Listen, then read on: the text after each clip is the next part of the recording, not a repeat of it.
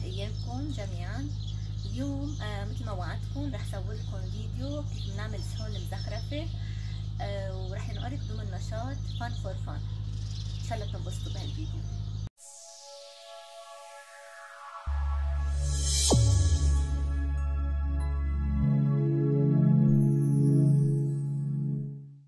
يسعد ايامكم ويعطيكم ألف عافية. اليوم أصدقائي الأعزاء رح أشتغل قدامكم بهالفيديو كيف منزخرف الصحون اللي عم نشوفها قدامنا؟ أنا عادة بحاول أستعمل الصحون المكسورة أو الصحون القديمة اللي ما بقى عم نستعملها. وأوقات بشتري صحون لونها أبيض بكون قياستها مختلفة. هيدي الصحون ببيعوها بالكيلو بتكون سعرها كتير رخيص وكتير مناسب للشغل. أول خطوة بنبلش فيها هي بنلزق طبعا الصحن المكسور أو الصحون اللي بتكون طرفها كمان منزوع فينا آه نرجع نعمله صياغه آه عندنا عدة مواد من التلزيق. آه في مواد نخلطها مع بعض سبراي وتلزيق لحتى يكون أقوى على المواد اللي بنستعملها سواء زيز ولا حديد ولا خشب أي مادة بدنا نلزق فيها. هلأ رح نحط أول مادة يلي هي هاي على الصحن. نرجع بنرش سبراي على الجهة الثانية. وبس نحطهم حد بعض. نثبتهم شوي على الطاولة عشان نلاحظ إنه بلزق مية بالمية. ونطره شوي لا ينشف نبلش الشغل فيه. آه هلأ هيدا الصحن آه رح استعمله لحتى لي أشتغل عليه. حنحاول أول شي نعتق أطراف الصحن. بهي الطريقة. إذا بتلاحظوا الصحون كلهم على أطرافهم معتقين طبعا بختار اللون المناسب مع الشيء اللي بدي أشتغله. يعني مثلا أنا اخترت هيدا اللون لهيدا الرسمة لحتى هون. طبعا هيدول آه كروتي ممكن نجيبهم من المكتبة أو إذا أنا كنت مسافرة وقتها وجبتهم معي.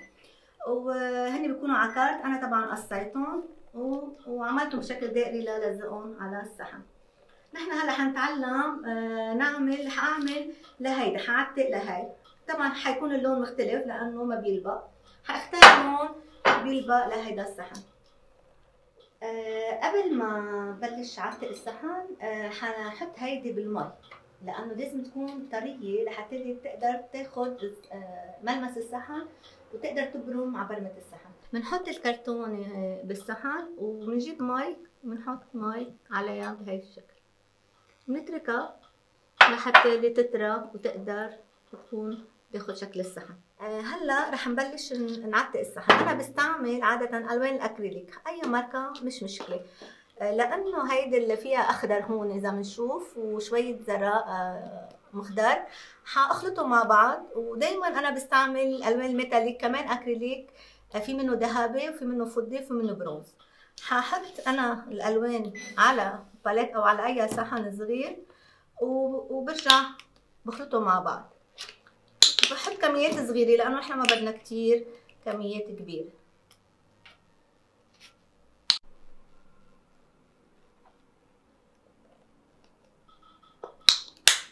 فاتح نقطة أخضر غامق بهي الطريقة.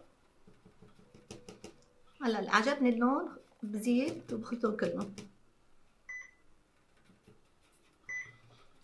وبحاول أشوف الكارت اللي عندي. إذا مش الحال. تقريبا مش الحال. بحاول هيدي أحطها على الجهه الثانية كمان.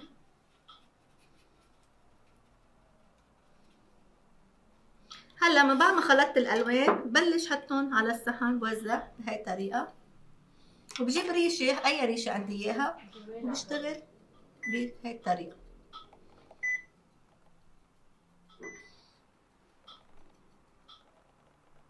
إذا بتلاحظوا عندي هيدا الخط أنا حأستفيد منه لأنه بس أعمل أحط الرسمة بالنص برجع بالذهبي بشتغل.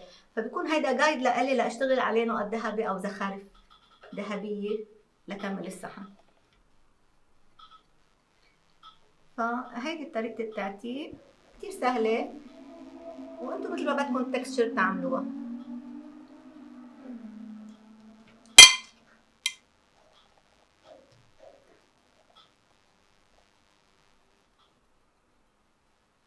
هحاول أعمل دائرة على قد السهم.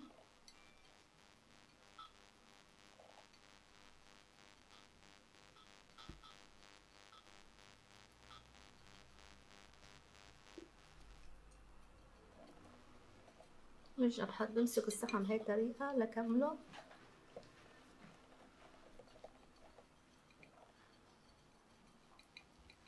كتير سهلة الطريقة. ما, ما كتير آه، تتلبكوا فيها لأنه مثل ما شايفين إنه هي بفكرها الواحد صعبة بس هي كتير سهلة. كيف ما طلعت التكتشر بتطلع حلوة إحنا خلصنا مبدئيا الترتيب. هلا أنا بستعمل عادة غيرها. آه هيدي آه ماركة كتير منيحة لأنه بس ينشف الغريب بصير شفاف. أوكي؟ أنا عادة الغيرها بحله بالمي هو بيكون هيك أبيض. بس باخد شوي تقريبا كمية مي وبحط غيرها بالمي وبحركهم لحتى يدوبوا. فيني إذا الغير كبر معي فيني صفي الغير بكلسات أو بمصفاية عشان ما يطلع فيهم زوايد يزعجوني بالشغل. هلأ رح نلزق اللي حطيناها بالمي. حنلزقها آه، بهذا الصحن اللي اشتغلنا عليه. أول شي بحط غيره على الصحن.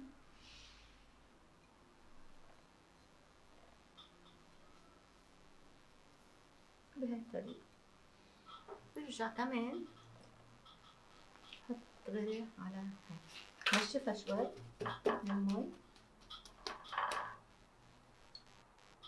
بدها ناغلة كلياتها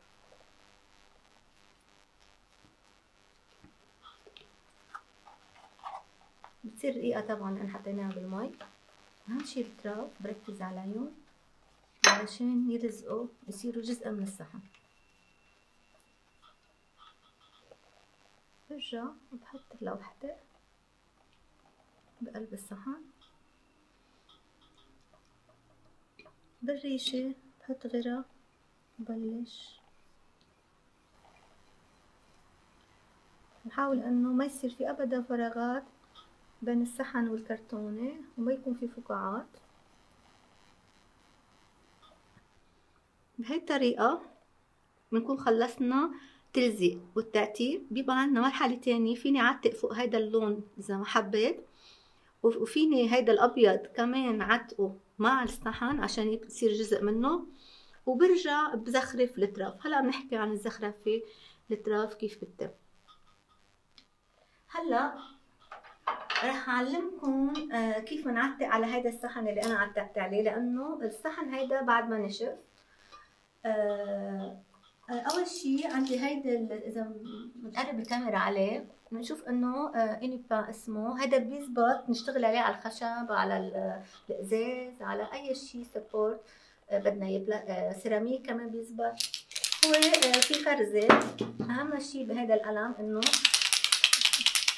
نخده شوي علشان اللون بقلبه ياخد. هو طبعا ريشته هيك. إذا بتلاحظوا بس نكبس عليه نكبس عليه بهاي الطريقة. بطلع اللون بصير نمشي فيه. آه رح أحط عوينات لحتى يزخرف شوي. هلأ إذا بنلاحظ مثلا أنا بدي أختار عندي هيدا طرف الصحن. حتى ادمجه مع الصحن لاحظوا عملت شي مثل هيك زخرفة صغيرة ونقطة. زخرفة صغيرة ونقطة. هو الزخرفة مش مهم يعني إذا مو كتير دقيقة لأن هو الهدف إنه نوصل الصحن بالرسمة. بهي الطريقة إذا منلاحظ فينا نختار